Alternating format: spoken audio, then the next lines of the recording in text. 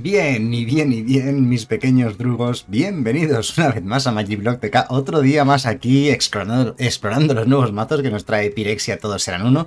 Hoy traemos una versión agresiva que combina un poco las mejores cartas verdes que han salido y que, por cierto, una de ellas ni siquiera la hemos jugado todavía aquí en el canal, y las mejores cartas blancas que han salido. Voy a hacer como en los últimos días, voy a destacar las cartas de la nueva colección y las más antiguas que ya conocemos, aunque son muy buenas, como puede ser el caso del Pacificador Ungido, el Cátaro Brutal o Talia.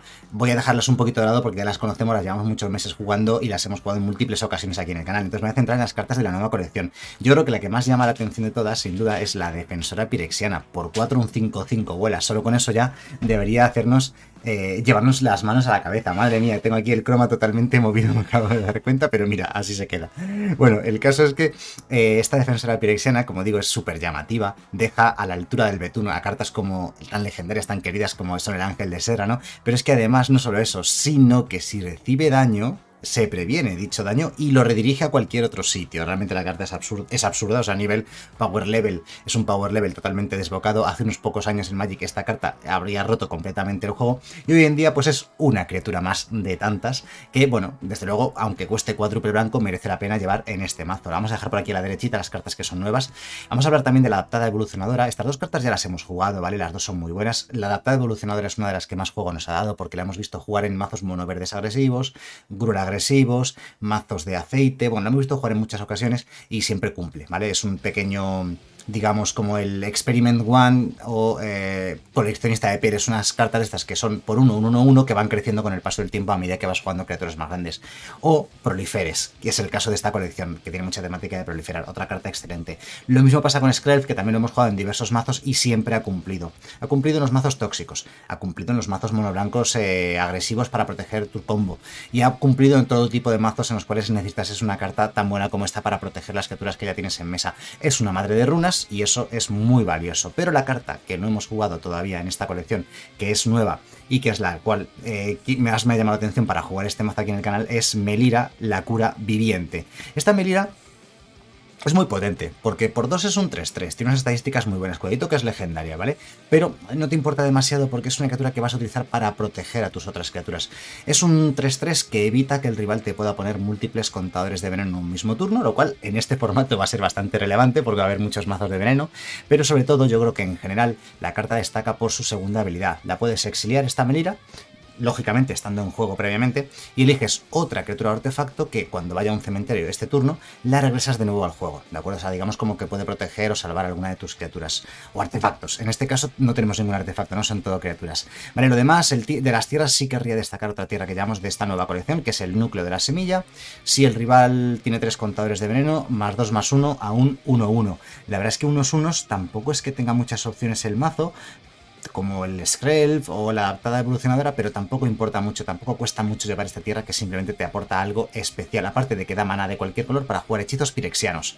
Pirexiano, eh, pirexiano, pirexiano. Esta no es pirexiana, ¿no? Claro, lógicamente.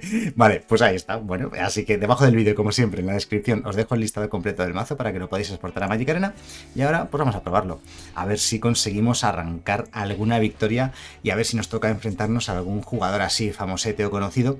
Que bueno, eh, en, esta, en este acceso anticipado en esta ocasión han salido poquitos, la verdad, jugadores famosos, pero alguno caerá, alguno caerá. Así que esperemos que, en este vídeo sea, sea la ocasión en la, en la cual nos sale algún, algún pro o algún creador de contenido o algún amigo de, la comunidad de Magibiblioteca, del, del team Magibiblioteca. No sé si habrá alguno ahora del, del equipo jugando, somos seis compañeros, así que podría ser. Pues no lo conozco. Así que nada, juguemos. Bien, saliendo nosotros esta mano es decente, no es espectacular, pero no me gusta la mano porque no tiene cartas de las nuevas. Llevamos muchísimas cartas de la nueva colección en esta en este mazo y en esta partida pues no les ha apetecido salir de mano. Vamos a ver si empezamos a robarlas. Se podría meter también el 4-4 arrolla por 3 en este mazo, por si os lo estáis pensando. Em, no sé por qué no he jugado esto de primer turno. Voy a atacar y voy a jugar al adversario intrépido. ¿Por qué? Pues para aprovechar el mana. Si me mata el adversario intrépido, pues me lo mata. Viendo una montaña es muy probable que nos lo mate, ¿vale? Uy, negro rojo. Cosechador de diezmos de sangre. Obviamente vamos a atacar. Melira es buena. De hecho, esta Melira no lo voy a jugar ahora. Voy a atacar simplemente. Bloquea, me parece, me parece razonable. Vamos a jugar el núcleo este, aunque no lo vamos a utilizar de momento. Y pacificador ungido, a ver qué tiene en la mano el rival, aunque es una Rakdos Sacrifice probablemente. Dos Crueldad de Higgs, Paula del Rompespejos y Resurgimiento de Tumba Nefasta.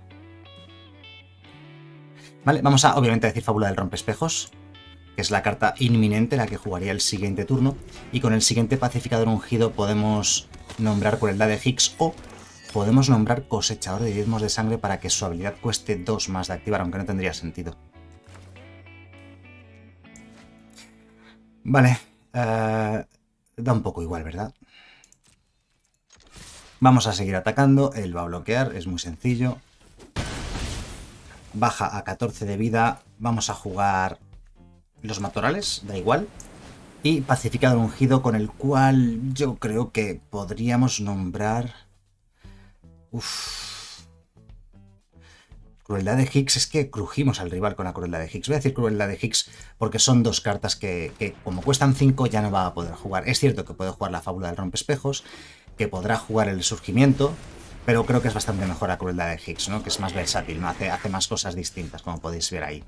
Bien, pues yo diría que tenemos que volver a, las andadas. No sé si es un buen momento para Melira, quizás, para proteger la oficial de alistamiento con esta Melira, aunque no... es que la oficial de alistamiento nos puede dar una ventaja de cartas a largo plazo bastante importante, es por eso que me lo estoy pensando, ¿no? Sí, protegerla con Melira. Venga, voy a protegerla con Melira, porque creo que es más importante la oficial de alistamiento que la propia Melira.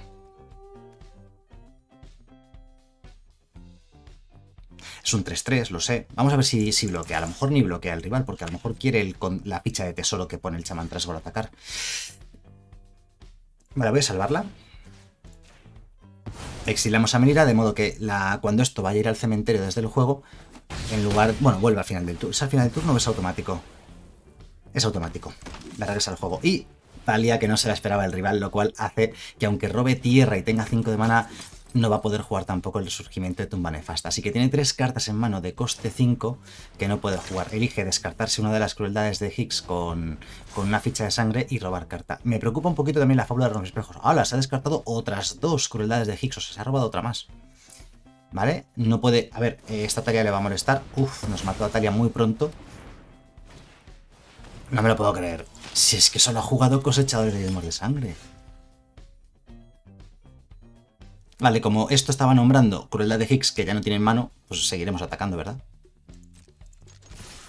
Uf, qué complicación. Nos va a ganar él, nos va a ganar la partida. Esto tiene mala pinta.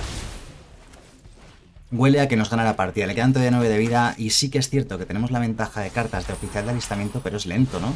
Y tiene ya un Kikijiki en mesa, reanima criaturas, oh, triple cosechador, destrizar, una Liliana del Velito ahora. Sacrificaremos criatura. No, no, activar la habilidad. Bueno, sí, voy a activar la habilidad, lógicamente, pero quería sacrificar la que está girada. Y al final del turno activamos su habilidad. Yo creo que ya hemos perdido, ¿eh? Otro pacificador ungido. Me sirve. ¿Sabéis lo que acabamos de pasar? Sí, la defensora. Vale, vamos a simplemente atacar a esa Liliana. Eh, me imagino que no va a bloquear, va a dejar morir la Liliana, porque es preferible salvar el Kikijiki. Y ya está, estamos muertos. Reanima con esto, lo que no sabe es que hemos robado otro pacificador. Cuidado, bueno, sí lo sabe, lo ha visto. Lo ha visto porque la carta la hemos mostrado, ¿no? Pablo del Rompespejos o Resurgimiento de Tumba Nefasta. Obviamente vamos a nombrar el Resurgimiento de Tumba Nefasta para que no pueda jugarlo. Y también jugamos Skrelv, de modo que podemos dar imbloqueable a este pacificador ungido. Bueno, no es imbloqueable, es que no puede ser bloqueada porque tú eres de un color concreto. Y que tiene en el cementerio triple cosechador de diezmos. Uy, ahora un alma de Wingrace. De Wingrace. Bueno, robamos tierra, lo cual no está mal. Voy a activar la habilidad en mi fase principal de la oficial de alistamiento a ver qué pescamos. Pues mira, hemos pescado bien otro pacificador ungido o un adversario intrépido que puede estar bien para el siguiente turno lo que no sé es si jugarlo. O el siguiente turno pagando 6 darle un montón de más unos a mis criaturas, que también es una buena opción. Voy a esperarme al siguiente turno. Vamos a dar inbloquear al pacificador ungido. Inbloquear entre comillas, ya sabéis, contra eh, rojo, ¿no? Las dos criaturas son rojas. Y atacamos de 3, con lo cual el rival ya está en 6 de vida. El siguiente turno le podemos dar más 2 de ataque. O sea, va a pegar de 5 este pacificador ungido y le podemos dar imbloqueable entre comillas, ¿no? Así que no somos letales por un punto de vida. Usa Boseiju desde la mano para matarnos el Skrell. Con lo cual eh, buscamos una tierra básica la ponemos en juego enderezada. Nos va a acabar remontando, ¿eh? Uy, esta Melira es buena, ¿eh? 4 y 3, 7.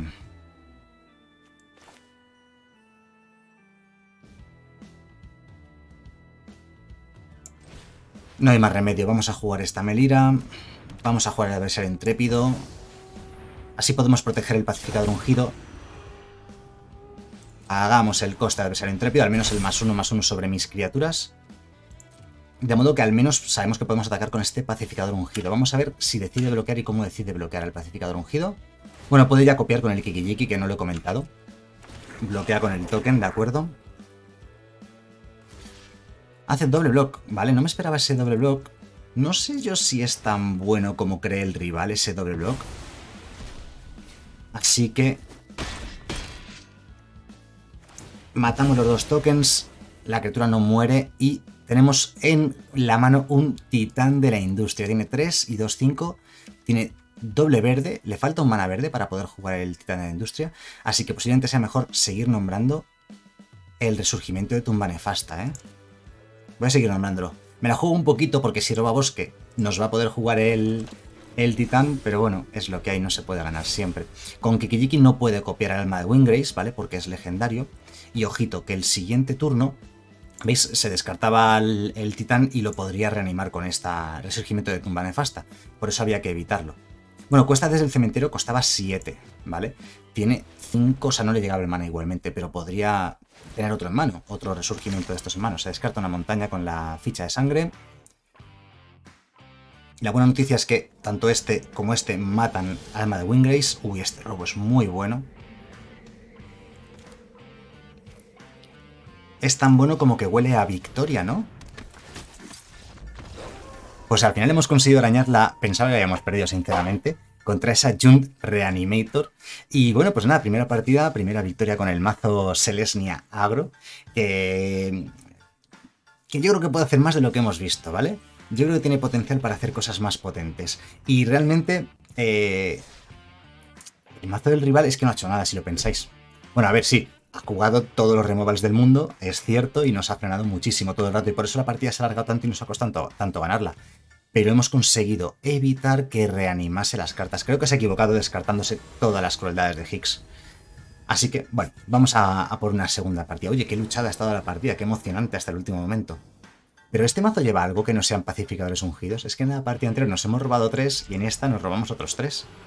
Vale, rojo, negro... Uy, qué top deck. Qué top deck más que nada porque completamos la curva de mana. Turno 1, turno 2, turno 3. Y con esto ya podremos proteger. No atacaremos, lo dejaremos enderezado siempre para proteger. Vale, olvidaos de, olvidaos de lo que estaba diciendo. Doble talia.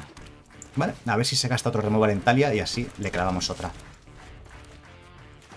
Tenemos que robarnos la defensora pirexiana. 5, 5, otra vez, pero qué pesadez. Todas las partidas vamos a estar comiéndonos 44 cosechadores de sangre. Parece que sí. Obviamente no va a bloquear. Y vamos con el pacificador ungido. A ver, enséñanos qué tienes en mano. Transmutado. Fábula del rompespejos. Doble transmutado. Podemos pasar de los transmutados y vamos a, nombrar fábula del rompespejos. Eh, tiene un problema la mano que tiene el rival.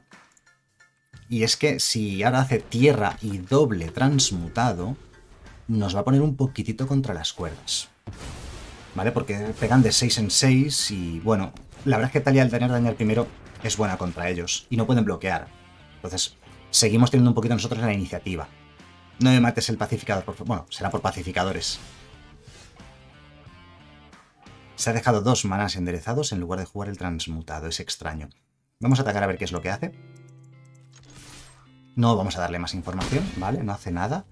Vale, pues yo creo que Talia de nuevo, más oficial de alistamiento para tener más presencia en mesa, ¿no? más Board Presence. Como se suele decir, es otra Junt.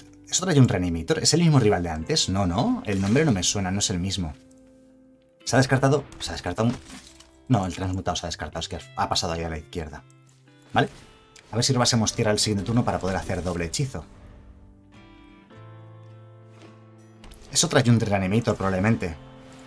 ¿Vale? Juega el segundo transmutado y... No, juega otro transmutado que se ha robado más el que tiene en mano. Y esto es para descartar nada más, ¿no? Bueno, pues se puede jugar con irrupción, no, no, no, no descarte. Ahí he mezclado churras con merinas, como se suele decir.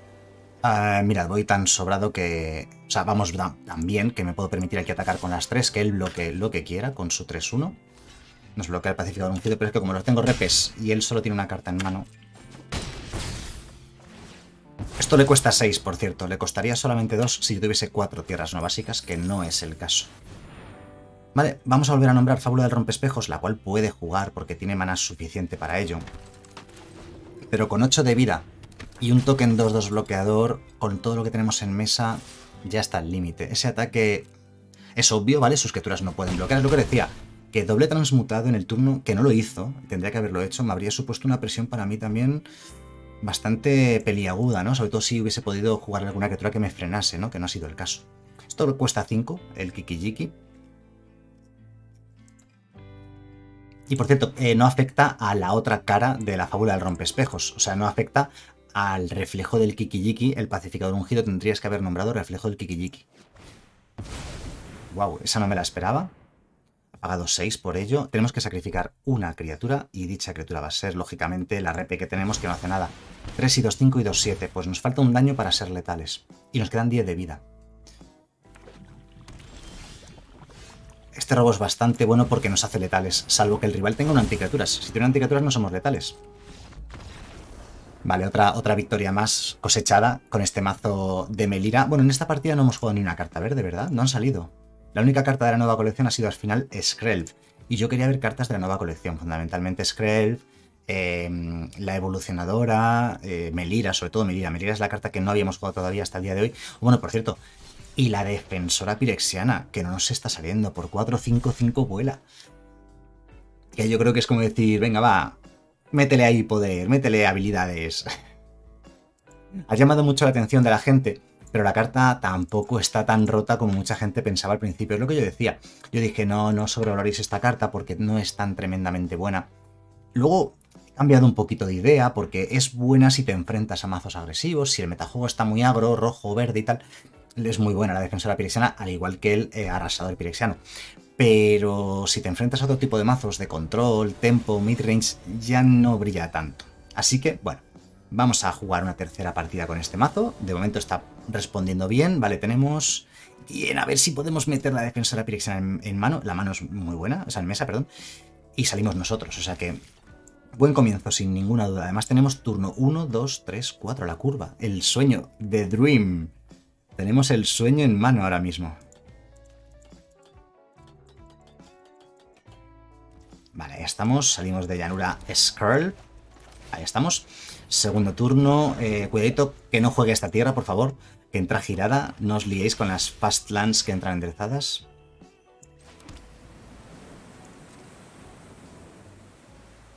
Voy a atacar, porque teniendo en cuenta que nuestra segunda jugada es Talia, y él tiene un mana y ahora va a tener dos, eh, la probabilidad de que nos pueda matar alguna de las dos cartas es muy pequeña. Si acaso si tuviese un destrizar, yo creo que a partir de ahora ya sí voy a dejar Scrap enderezado.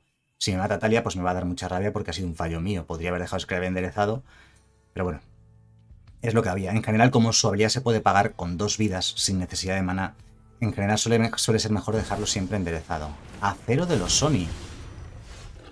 ¿Vale? Me acaba de volar un poquitito la cabeza. Por cierto, con el núcleo de la semilla, cuando tenga tres contadores de veneno, esto le podríamos dar más 2 más 1. Ah, podemos hacer cátara brutal y seguir pegando. Posiblemente sea la mejor opción. Vamos a hacer Cátaro Brutal. Nos cargamos el acero de los Sony. Y además pegamos solo con Talia. ¿Por qué? Porque así tengo el Skrell para proteger al Cátaro Brutal o a Talia. Y ya está, solo tengo que pagar dos vidas. Y tiene que matar primero a Skrell y luego matar a alguna de las otras dos criaturas. Además con la dificultad de Talia que eleva el coste de los hechizos que no son de criatura. Vale, siguiente turno viene la defensora pirexiana. No vamos a atacar con el Cátaro. Por cierto, no es legendario esto, ¿no? Y Durmiente evolucionado. Vale, eh, Talia se sigue comiendo sus dos criaturas. A lo mejor se rinde el rival después de este turno. A Talia no la puedo bloquear porque al tener dañar primero podría matar sus dos posibles bloqueadores. Sus dos posibles bloqueos. Y podríamos hacer esto y esto, pero es mucho mejor esto. Queríamos ganar con la defensora pirexiana. Vamos a ver, esta partida no está ganada, ¿eh? Todavía. Tenía muchas ganas de jugar la defensora pirexiana en este mazo y al final, aunque sea en la última partida, lo hemos conseguido. 3-1, reconfigurar por 4, 5-5, amenaza. Y el rival se rinde antes de tiempo. ¡Ay, ese pirexiano! Esa defensora pirexiana. Bueno, pues ya veis el mazo. el mazo va como un cohete realmente. Es que es una mono blanca agresiva. Y no nos han salido mucho las cartas verdes. Sí nos han salido las cartas nuevas de Pirexia, Skrelv y Defensora Pirexiana, pero del verde nos han salido poquitas cosas. Bueno, Melira sí la hemos jugado bastante, en la primera partida la hemos usado un par de veces, ¿no? En la primera y en la segunda partida puede ser. Y la data de evolucionadora, pues no hemos llegado a jugarla ni una vez de primer turno, que es la gracia, ¿no? Me gusta mucho el mazo, me parece bastante competente, bastante consistente y agresivo. Y bueno, pues nada más, ya sabéis, debajo del vídeo tenéis el listado completo para exportarlo a Magic Arena. Espero que el vídeo os haya gustado. Nos vemos en el siguiente. Hasta luego.